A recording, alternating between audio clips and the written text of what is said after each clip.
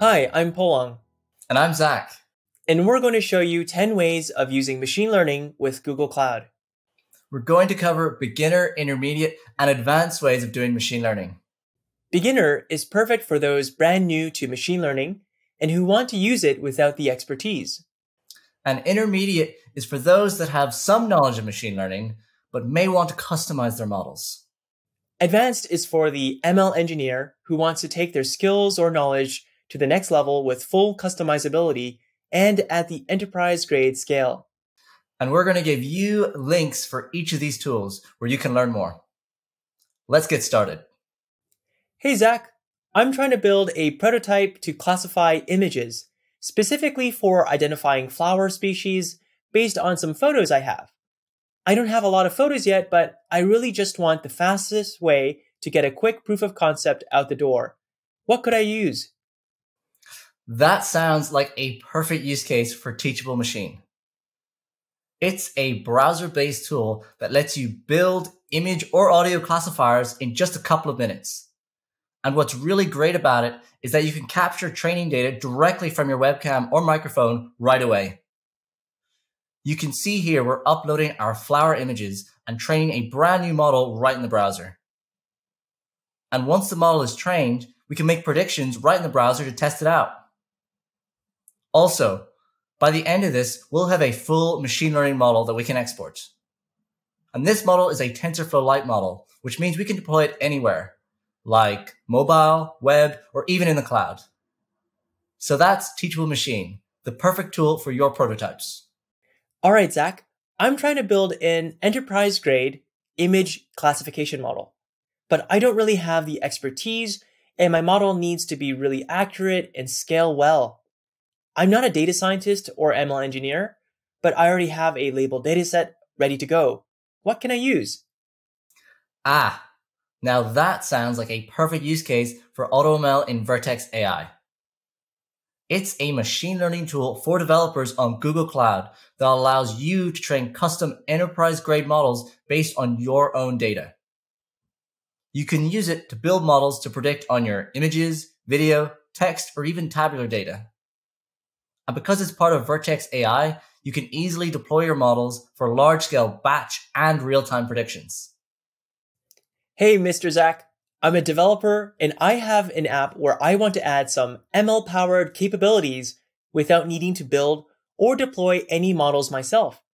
Specific tasks like mm, image labeling, sentiment analysis, or text classification. What can I use that just works out of the box? Ah, Excellent question. I think some of the pre-trained ML APIs would be perfect. These are powerful pre-trained models that allow you to embed machine learning capabilities directly into your applications with just a single API call. You can see here how they're great at common tasks like sentiment analysis in text, object and person detection in video, and even some really cool things like landmark detection in photos. And there's loads of other features that I haven't even mentioned. So definitely check out the ML APIs in Vertex AI. Hey, Zack, I want to generate images and text. Where can I begin? Now that sounds like a perfect use case for Generative AI Studio. It is a managed environment in Vertex AI that makes it easy to deploy, interact with, and tune generative models to production. It's got a simple interface for prompt design, tuning, and deployment for developers to get started building with generative AI. Let's walk through an example. Let's say I have some blog content around healthy granola bars, and I want to generate a multimedia marketing campaign around this. Using just the blog content, I can write a prompt and Generative AI Studio will generate a blog title, headline, and Instagram caption with hashtags for a marketing campaign. And there you have a blog headline, a blog post, and an Instagram content for our campaign. No ML expertise required, and you can also view the API code to use Generative AI Studio programmatically. We can also use Vertex's generative vision AI capabilities. With our image generation model, I can use the simple text prompts to generate images that go along with my marketing campaign.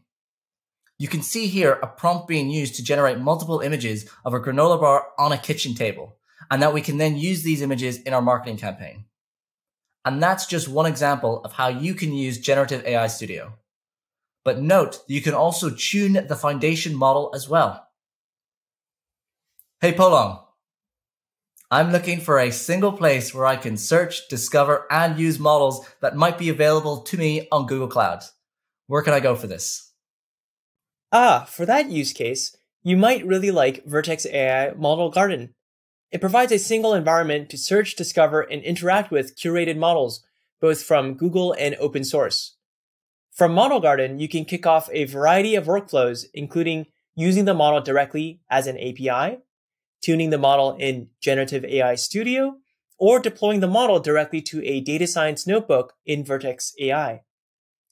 We've also just launched four new APIs that will be available in the Model Garden.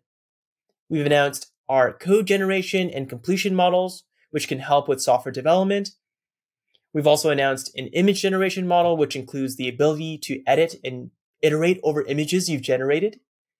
We've also announced our universal speech model, which is the next generation of speech to text.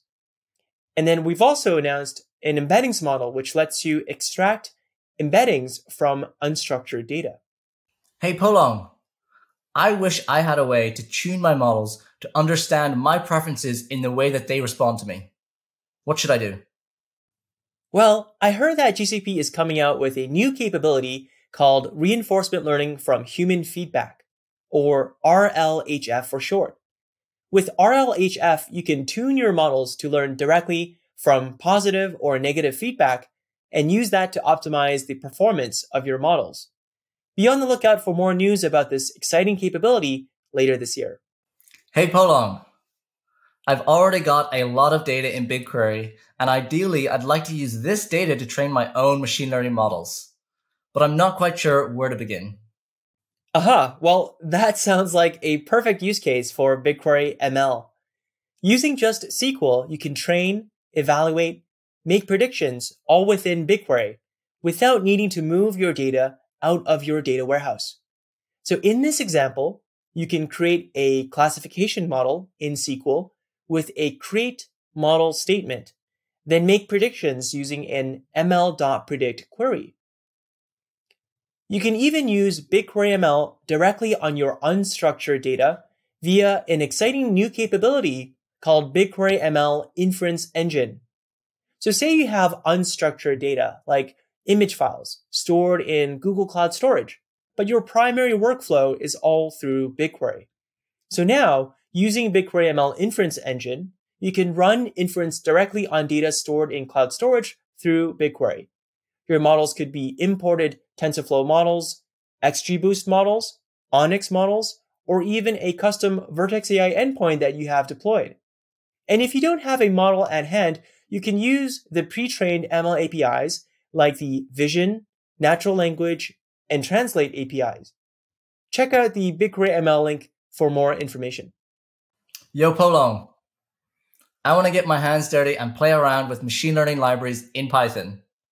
How do I get started as quick as possible? As quick as possible? That sounds like a perfect use case for Colab.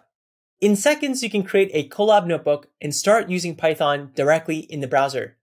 You can import or install your favorite libraries and you can even load notebooks or code that you found online, or check out some of the sample notebooks. You can also use Colab with Google Cloud, like reading data from BigQuery. So check out Colab in the link below. All right, Polong. I've played around with Colab and I'm loving the notebook environment. But I'm an enterprise developer and now I want to think about production workloads and I also want to think about integrations with the rest of Google Cloud. What can I do? That's a great question. And it sounds like you might get a kick out of Vertex AI Workbench. You can create and customize Jupyter Lab instances on Google Cloud.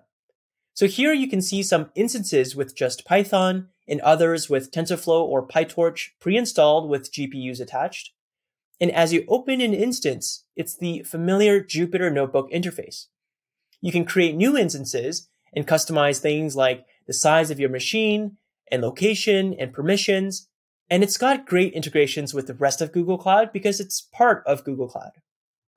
I'm a machine learning engineer and I need an enterprise grade way to train my custom models at scale. What can I use? Well, Zack, might I say that that is a perfect use case for Vertex AI custom training. You can bring your ML code and run it in the cloud with Vertex AI. You can keep track of your model experiments, use automated hyperparameter tuning, and leverage MLOps capabilities of Vertex AI like orchestrating your model training and deployment workflows with Vertex AI pipelines. So imagine that I have a model that I've been training in a notebook environment for experimentation. And maybe once I'm closer to production, or if I have uh, really heavy training workloads, then I might just train directly using Vertex AI custom training. So I containerize my code, then submit it to Vertex AI custom training to run it for me in a managed and repeatable way.